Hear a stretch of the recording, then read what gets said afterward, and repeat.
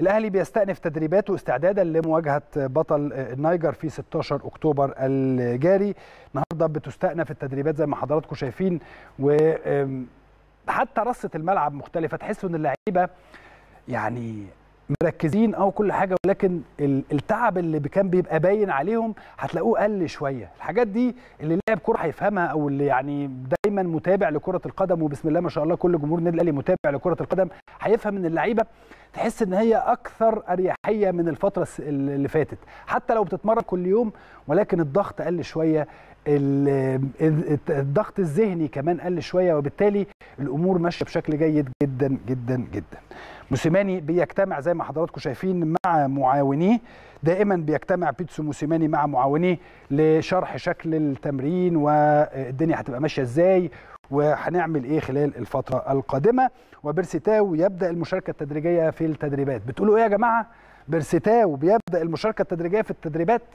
مش برسيتاو ده اللي كان عنده إصابة مزمنة؟ مش برسيتاو ده اللي أول لما جه قعدنا بعض من لا يشجع النادي الأهلي فضلوا يقولوا عليه كذا وكذا وكذا وكذا وإصابة مزمنة وإصابة مش عارف إيه وإصابة إيه؟ دلوقتي بيرستاو بيبدأ التدريبات بشكل تدريجي. وده اللي قاله الدكتور أحمد أبو عبلة رئيس الجهاز الطبي من أسبوع أو من أسبوعين معانا هنا في البرنامج قال هذا الكلام. برضو كانت من ضمن الحملات الموجهة خلال الفترة السابقة على الصفقات الجديدة اللي جابها النادي الأهلي. صفقة جديدة النادي الأهلي جابها. لعيب مصاب. ما عندوش إصابة مزمنة ولا حاجة. لعيب مصاب.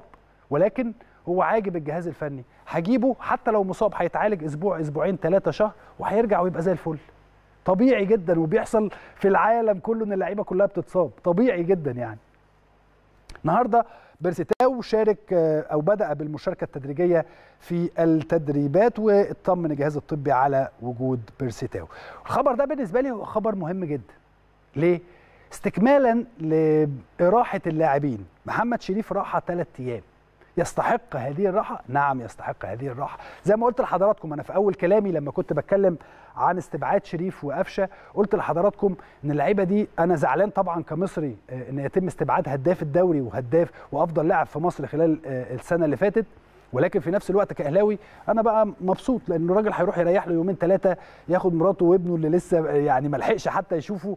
ويتفسح معاهم يومين ثلاثة ويرجع يكون أكثر تركيزا في التمرين يكون أكثر تركيزا مع النادي الأهلي خلال الفترة القادمة عشان إن شاء الله يرجع ويستفيد منه منتخبنا الوطني خلال الفترة اللي جاية. فتخيل حضرتك إن محمد شريف يعني من الأخبار المهمة بالنسبة لي إن محمد شريف خد ثلاث أيام إجازة عشان يستريح ويبتدي يرجع مرة أخرى.